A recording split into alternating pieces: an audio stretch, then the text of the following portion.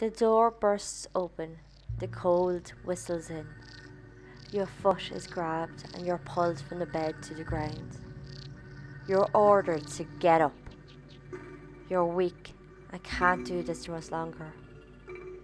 He enters, scanning the room at the frail, broken corpses.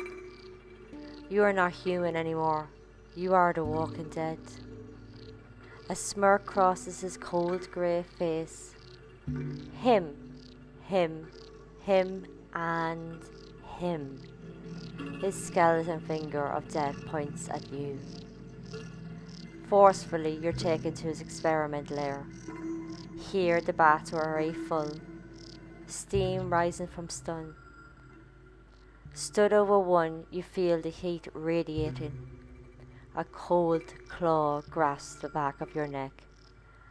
Pressure and down you go for face first. The heat of the water numbs at first and then burns. Instinct kicks in. You fight, trying to get out, to breathe. Pulled up, you inhale as much as you could, and then you're forced back down. You got glimpses of him, smiling, even laughing. Finally, you're released, only to do it all again in a bath of ice. This goes on for hours. All the while, he watches, smiling, laughing, taunting. This was Joseph Mengele, the Auschwitz angel of death, and this is the good, the bad, and the pure evil.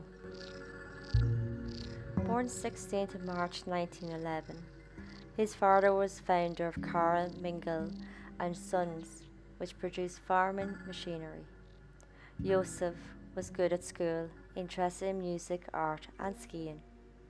He finished school in April 1931 and went on to study philosophy in Munich, where it just so happened was also where the Nazi Party was.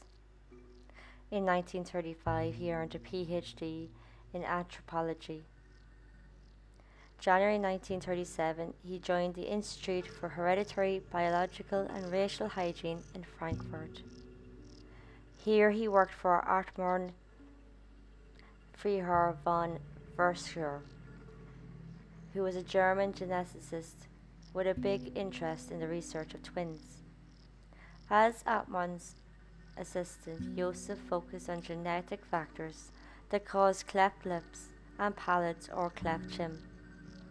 His thesis on this earned him an MD from the University of Frankfurt in 1938.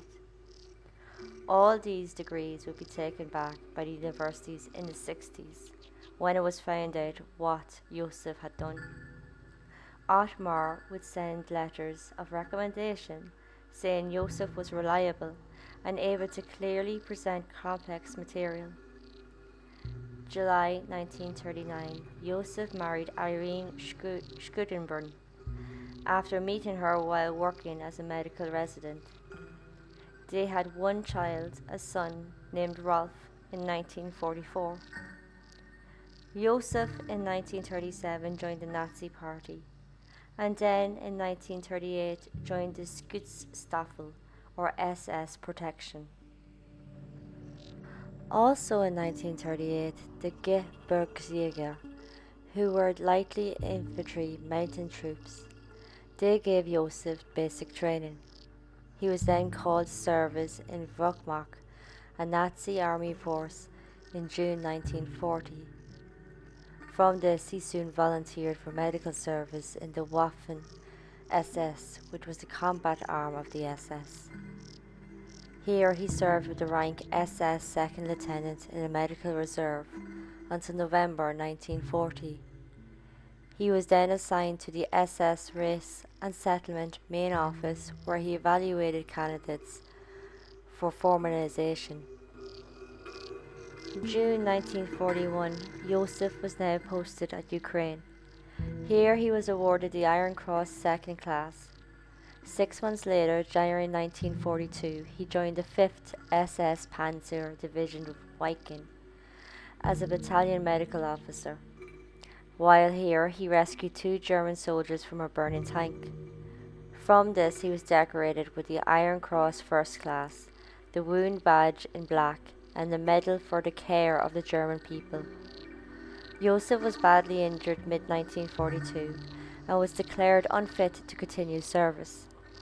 Once he recovered, he was moved to the headquarters of the SS Race and Settlement main office in Berlin.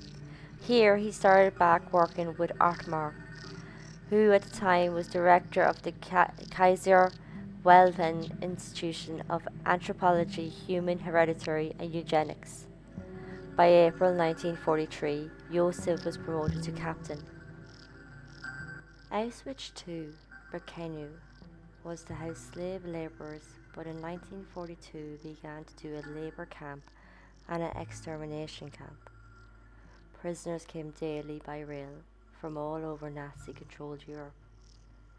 From July 1942, SS doctors were doing selections. Jews would come in and would be split up. Those who could work went into the camps, while those thought to be unfit were taken immediately to be killed in the gas chambers.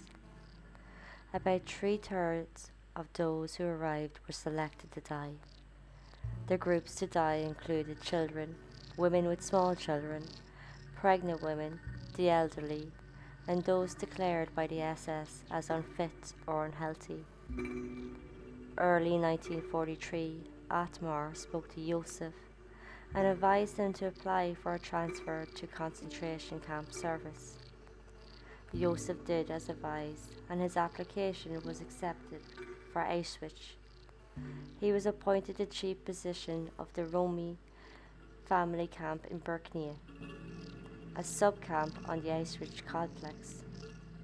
At Auschwitz, SS doctors didn't give treatment to the inmates. Instead, they supervised activities of the inmate doctors, who were forced to work in the camp medical service. Josef's duties included weekly visits to the hospital barracks, and he would have any prisoners who didn't recover in two weeks sent to the gas chambers. Joseph also carried out selections. He chose to do this even when he wasn't assigned to. He did this in hopes to find subjects for his experiments. He particularly wanted to find twins. Most SS doctors didn't like being assigned selection. They found it very stressful and not nice to complete. But Joseph, he loved it, becoming excited to do it, often smiling or whistling as he carried it out.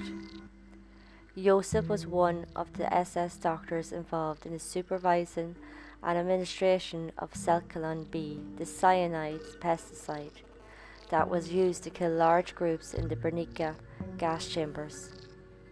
An outbreak of noma, a gangrenous bacterial disease of the mouth and face, hit the Romani camp in 1943.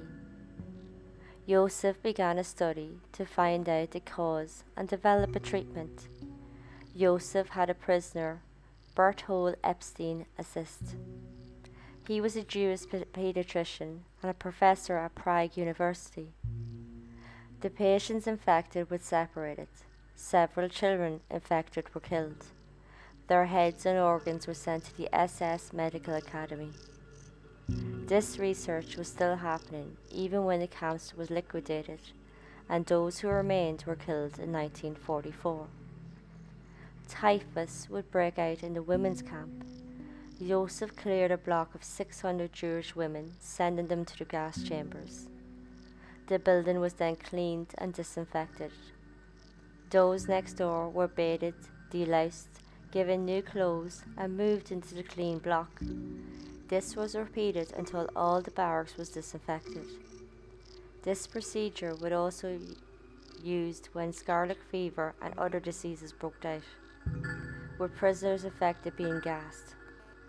For this, Joseph was awarded the War Merit Cross and in 1944 was promoted to first physician. Joseph would see Auschwitz as an opportunity to continue his anthropology studies and research into heredity. He did this by using inmates for human experiments. What he did showed no consideration for his victims' health, safety, or physical and emotional suffering. He sought for twins preferably identical, people with two different eye colours, and those with dwarfism, and people with noticeably abnormalities. Otmar would organise a grant from the German Research Foundation. They would get reports and shipments of specimens from Josef. With the grant, Josef built a pathology lab attached to the crematorium 2 at Auschwitz. May 29, 1944, Miklas Nicelis, a Hungarian Jewish pathologist, arrived at Auschwitz. He would be used to complete dissections and prepare specimens for shipment in the new lab. The twin research aimed to prove supremacy of heredity this, if proven, would strengthen the Nazi theory of the genetic superiority of the Aryan race. Michaelis and others thought there was more than to the twin study. They believed it was motivated by an intention to increase the rep- reproduction rate of the German race. This would be achieved by having the perfect people having twins. When Joseph chose his victims, they were spared for a moment from the gas chambers they would be fed better and housed better than any other prisoners. To the children, he called himself Uncle Mengele and came bearing sweets. At the same time, to many, he was executioner, with lethal injections, shootings, beatings, and horrific experiments, all ended in death. He was described as, as sadistic, with little to no empathy he was known to be extremely anti Semitic, truly believing Jews should be eliminated as an inferior and dangerous race.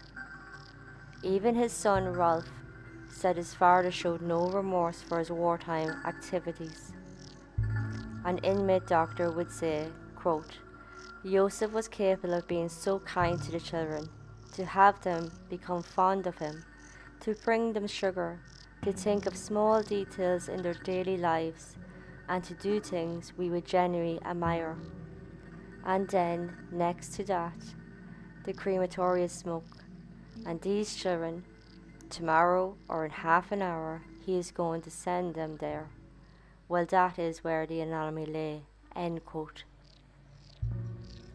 With the twins, they had weekly examinations by Joseph or an assistant. He would cut off the twins' limbs purposely infecting a twin with a disease and transfusing the blood of one to another. Many died from these, and those who didn't were sometimes killed and dissected once Joseph didn't need them anymore. Michaelis remarked Joseph once killed 14 twins in just one night by injecting chloroform into their hearts.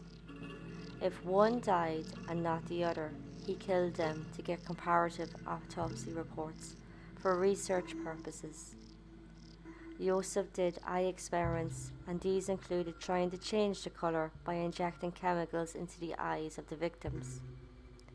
Those who naturally had two different eye colours, he killed, removed their eyes, and sent them to Berlin for study. On those with dwarfism or physical abnormalities, he took measurements drew blood, pulled healthy teeth, did x rays, and gave drugs that weren't needed. Many of his victims were sent to the gas chambers within two weeks, and their remains were sent to Berlin for examination. Joseph would also experiment on pregnant women, sending them to the gas chambers after.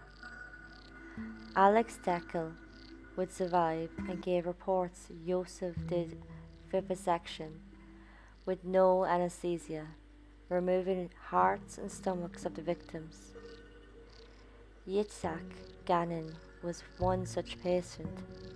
He reported Yosef removed his kidney with no anesthesia. Yitzhak was also made to go back to work with no pain relief.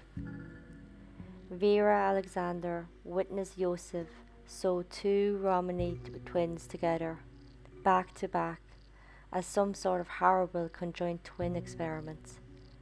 Sadly, both children died of gangrene days later. January 1945, Josef, along with other Auschwitz doctors, were moved to Gross-Rosen camp. Josef took two boxes of specimens and records of his experiments with him. Most of the camp medical records were destroyed by the SS by the time the Red Army liberated Auschwitz January 27th. February 18th, Josef fled Gross-Rosen. A week later, the Soviets arrived. He traveled to Satek, disguised as a Wehrmacht officer rather than SS. Here he became touchy friendly with a nurse, who he entrusted his incriminating documents with. He continued west with his unit to avoid the Soviets, but June 1945 the US captured him as a prisoner of war. Josef actually gave his name, but wasn't thought to be a major player, as he wasn't on any wanted list then and didn't have the usual SS blood group tattoo. The US released him the end of July, and he got false papers with the name Fritz Ullmann Later it was Fritz Hollmann. On the run, Josef went back to get his documents from the nurse. He found work near Rossim as a farmhand. April 17, 1949, Josef managed to escape Germany. He was convinced if caught he would be trialed and put to death for what he did. Helped by former SS members, he used a rat line a system of escape routes for Nazis in the aftermath of World War II. He travelled to Genoa. Here he got a passport from the International Committee of the Red Cross under the name Helmut Gregor. July 1945, he sailed to Argentina. His wife Irene refused to go, as she divorced him in 1954. In Argentina, Josef worked as a carpenter in Buenos Aires. Within weeks, he moved to Florida Este. He lived in a house of a Nazi sympathizer and worked as a salesman for his family's farm equipment company, Karl Mengele and Sons. 1951, he would go back and forth to Paraguay as the regional sales representative 1953, he, mo- he moved back to Buenos Aires and used family money into a carpentry business. In 1954, he rented a house in Olivos. In 1992, the Argentina government released files on Josef, which showed he may have been practicing medicine without a license while in Buenos Aires, and these practices included performing abortions.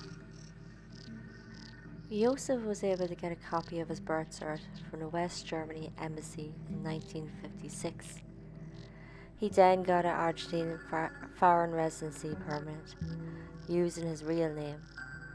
From this, he got a West German passport, again using his real name, and went on a trip to Europe. He met up with his son Rolf, introducing himself as Uncle Fritz. He also met his brother's widow, Marta, for a skiing trip in Switzerland. He would also spend a week in his hometown, Günzburg. He came back to Argentina September 1956 and began living using his real name. Now, Marta and her son came in October and they began living with Josef. Josef and Marta became close and they married in 1958 while had holidays in Uruguay and they bought a house in Buenos Aires. Josef, now part owner of Fadro Farm, a pharmaceutical company. In 1958, he, along with other doctors, were questioned on suspicion of practicing medicine without a license when a teen died during an abortion. Josef was released without charge. Knowing the publicity could possibly lead to his Nazi past and wartime crimes being found out, he would go to Paraguay for a bit and got citizenship in 1959 with the name Jose Mengele. He went back to Buenos Aires many times settling business stuff and visiting family. Marta and Carl lived in the city until December 1960 and then they went to West Germany. During the Nuremberg trials, Josef's name was said many, many times, but Allied forces believed he was probably dead. Irene Mengele and Josef's family in Günzburg all, all said that they believed he was dead. In West Germany were Nazi hunters Simon Wiesenthal and Hermann Langbein. A Nazi hunter was one who tracks down and gathers information on alleged Nazis or SS members and Nazi collaborators, typically for use in trials and charges of war crimes. So Wiesenthal and Langbein were collecting information from witnesses about Josef's wartime activities.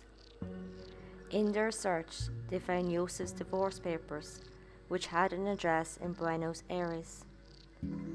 Both men would pressure the West German authorities to start extradition proceedings. June 5, 1959, an arrest warrant was drawn up. At first, Argentina wouldn't comply, as the fugitive wasn't at the address given. June 30, extradition was approved, but by then Josef had fled to Paraguay. May 1960, director of the Israeli intelligence agency Mossad, Isser Harel, would personally lead the successful capture of Adolf Eichmann in Buenos Aires. Eichmann was one of the major organizers of the Holocaust. Harel was hoping to also get Yosef to bring him to trial in Israel.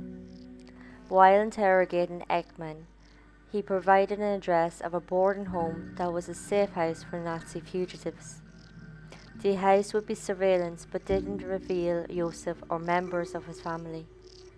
Questioning a postman, he claimed Josef was getting letters under his real name, but had since moved with no forwarding address.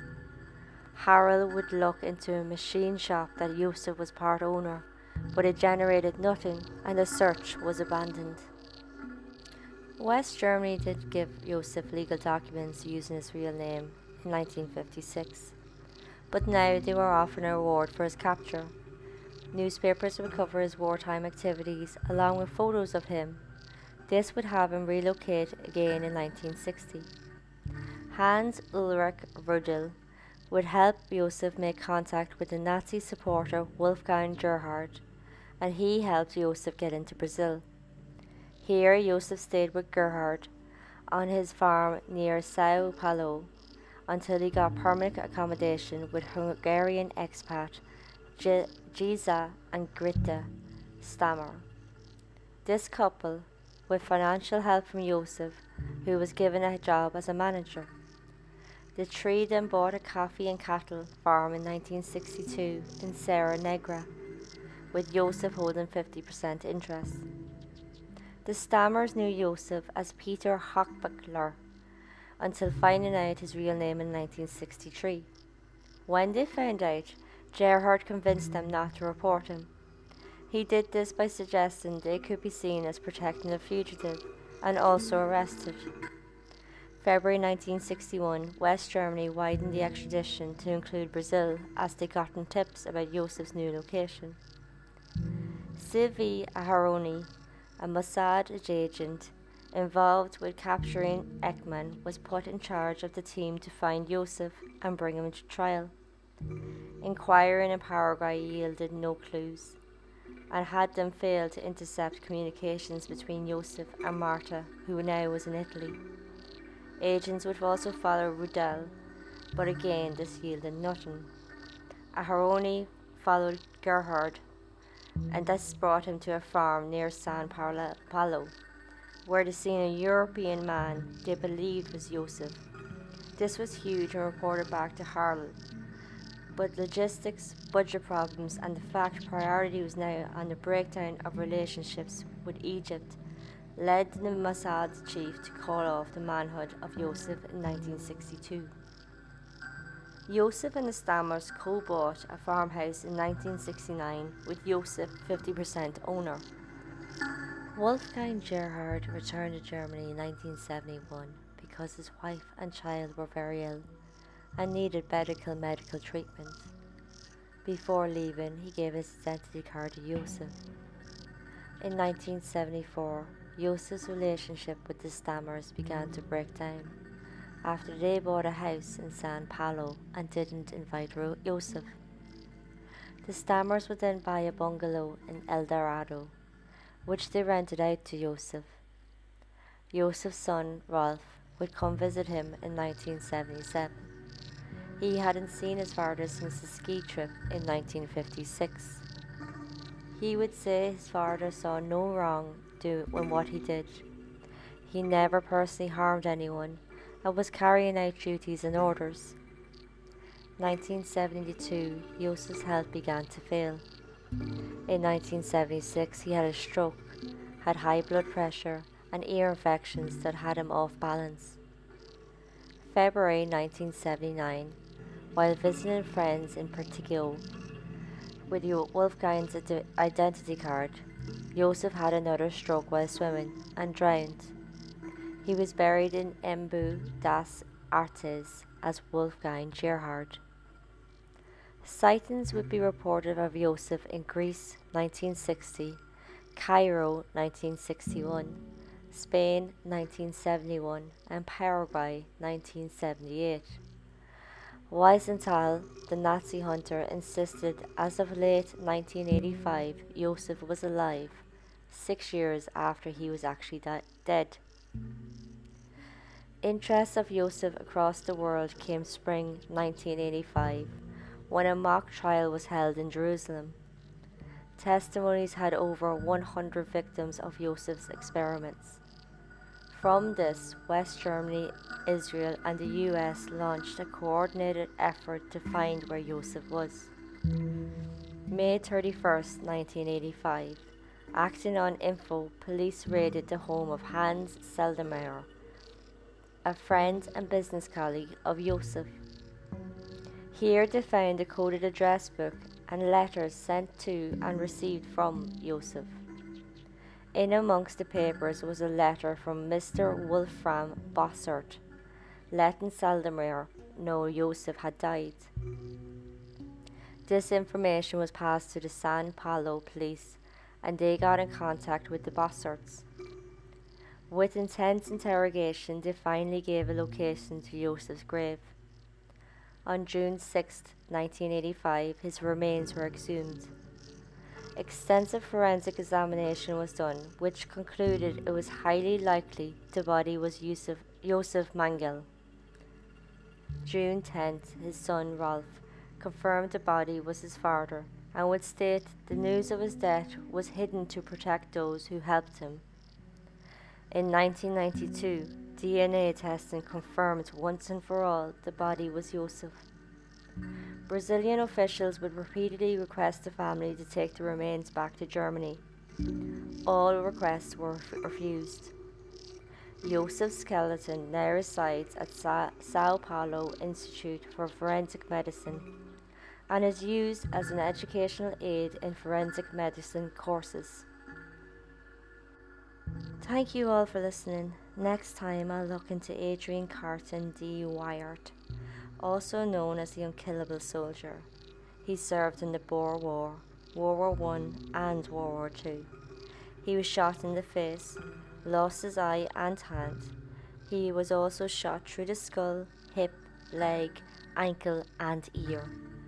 He also survived two plane crashes, tunnel- tunneled out of a prisoner of war camp, and even tore off his fingers when doctors refused to amputate he would become a figure of legends who showed heroism in the highest degree.